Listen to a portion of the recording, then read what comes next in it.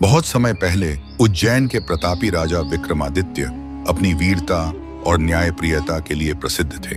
एक दिन जब वे अपनी प्रजा की समस्याओं का हल कर रहे थे, तभी एक बुज़ुर्ग साधु उनके दरबार में आया। साधु ने बताया कि एक रहस्यमयी राक्षस ने पास के गाँव में तबाही मचाई हुई है। वह राक्षस रात को आकर लोगों के घरों से बच्चों को उठा ले जाता है। विक्रमादित्य ने साधु को आश्वासन दिया कि वे खुद इस समस्या का हल करेंगे। विक्रमादित्य ने अपने प्रिय अंगरक्षक को साथ लेकर जंगल की ओर प्रस्थान किया। जंगल के बीचों बीच एक अजीब सी खामोशी थी। मानो वहाँ कोई अदृश्य शक्ति छुपी हुई हो। जैसे जैसे वे आगे बढ़े, वातावरण में ठंडक और गहराई बढ़ती गई। तभी एक अजीब सी आवाज़ उन्हें सुनाई दी। एक फुसफुसाती आवाज़ जो उन्हें बुला रही थी। विक्रमादित्य ने अपने दिल में साहस भरा और आवाज़ का पीछा किया। आवाज़ उन्हें एक पुरानी खंडहर जैसी जगह पर ले गई। वहाँ पहुँचते ही अचानक वह आवाज़ बंद हो गई और चारों ओर घना अंधेरा छा गया। विक्रमादित्य ने अपनी तलवार निकाली और सतर्क हो गए। तभी एक डरावनी हँसी सुनाई दी और एक बड़ा सा राक्षस उनके सामने प्रकट हो गया। राक्षस ने अपनी गहरी, कर्कश आवाज़ में कहा, राजा विक्रम,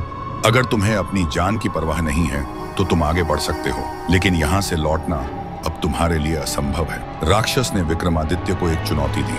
उसने कहा कि अगर विक्रमादित्य उसके तीन सवालों का सही जवाब दे सके तो वह गाँव के लोगों को छोड़ देगा और फिर कभी वहाँ नहीं आएगा। लेकिन अगर वे गलत जवाब देते हैं तो उनकी आत्मा हमेशा के लिए उसके पास कैद हो जाएगी। विक्रमादित्य ने चुनौती स्वीकार की और राक्षस के सवालों का इंतज़ार करने लगे। राक्षस ने अपना पहला सवाल पूछा, ऐसा कौन है जो हर जगह रहता है, लेकिन कोई उसे देख नहीं सकता?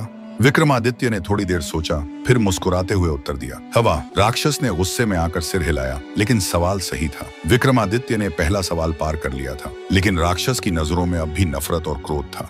राक्षस ने दूसरा सवाल किया, ऐसा कौन सा जीव है जो हर साल खुद को नया बनाता है, फिर भी अपनी उम्र कभी नहीं भूलता? विक्रमादित्य ने जवाब दिया, सांप। जो हर साल अपनी कैंचुली बदलता है। यह जवाब भी सही था। अब राक्षस ने तीसरा सवाल पूछा, ऐसा कौन सा वस्त्र है जो हमें पहचान देता है? फिर भी हमारा नहीं होता। विक्रमादित्य कुछ पल सोचते रहे और बोले, यह हमारी छाया है। तीसरे सवाल का सही जवाब सुनते ही राक्षस ने अपना सिर झुका लिया और कहा, राजा विक्रम, तुमने मुझे पराजित कर दिया। लेकिन तभी राक्षस की असली सच्चाई सामने आई। वह राक्षस दरअसल वही साधु था जो विक्रमादित्य की वीरता की परीक्षा लेना चाहता था। साधु ने अपने असली रूप में आकर उन्हें आशीर्वाद दिया और कहा, तुम सच्चे वीर विक्रमादित्य। तुम्हारी बुद्धिमानी और साहस के आगे हर बाधा तुच्छ है। इस प्रकार विक्रमादित्य की वीरता और बुद्धिमानी ने फिर से एक नए इतिहास को जन्म दिया।